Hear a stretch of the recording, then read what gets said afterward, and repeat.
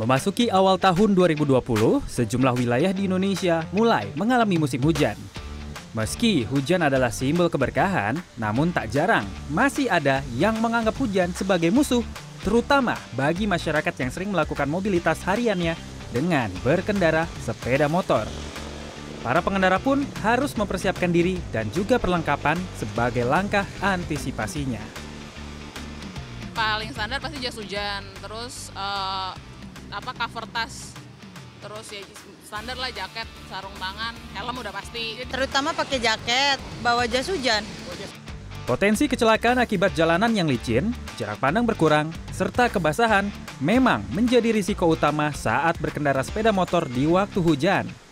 Menurut instruktur senior sekaligus pimpinan dari Indonesia Defensive Driving Center, saat memasuki musim penghujan, ada sejumlah hal yang harus disiapkan oleh pengendara roda 2 persiapan yang penting untuk roda dua adalah salah satunya kita selain kendaraannya layak harus layak kita sendiri untuk roda dua harus membawa perlengkapan tambahan semacam uh, apa namanya itu uh, jas hujan ya jas.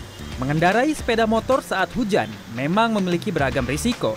Namun, hal tersebut bisa disiasati untuk menekan potensi-potensi ketidaknyamanan yang ada. Hal yang harus diperhatikan untuk memberikan rasa aman bagi para riders di kala hujan bisa dimulai dari sejumlah tips berikut ini.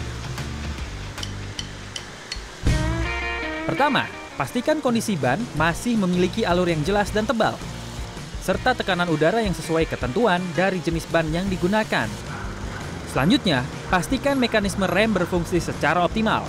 Tidak ada perbedaan signifikan dari penggunaan rem dengan metode cakram maupun tromol. Keduanya harus memiliki kampas rem yang masih baik. Cek juga minyak rem untuk mengetahui fungsi mekanis rem masih bekerja. Lampu juga menjadi hal yang harus diperhatikan. Seluruh lampu harus menyala dengan baik, terutama saat hujan turun agar mudah terlihat oleh pengguna jalan lainnya. Gunakan jaket sebagai pelindung tubuh, serta jas hujan saat rintik air mulai turun. Hindari penggunaan jas hujan model ponco yang berpotensi tersangkut dengan kendaraan lain atau roda gigi motor. Gunakan jas hujan dengan model setelan karena selain lebih nyaman saat digunakan, jas hujan ini memudahkan pengendara untuk bermanuver dengan leluasa. Ketika hujan terlampau deras, cari tempat berhenti yang aman bagi Anda dan kendaraan.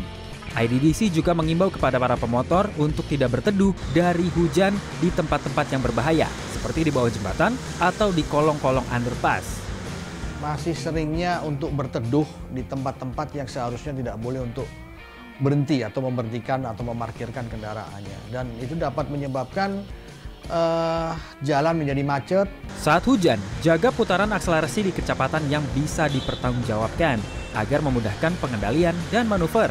Yang paling penting adalah menghargai sesama pengguna jalan dan mematuhi rambu-rambu lalu lintas.